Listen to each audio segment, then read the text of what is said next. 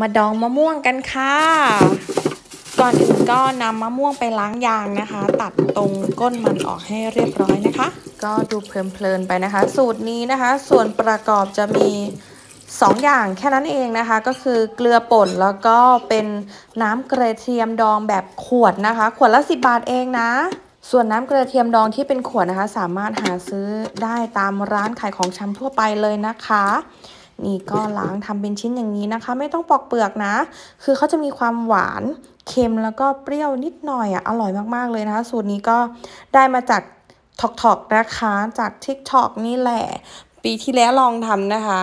ประมาณ 3-4 ลูกอร่อยมาก ปีนี้อ้อยพูดไปแล้วก็น้ำลายสอนะคะ ปีนี้ก็ทำเนี่ยนะขั้นตอนก็จะมีแบบนี้เลยง่ายมาก ๆนะคะ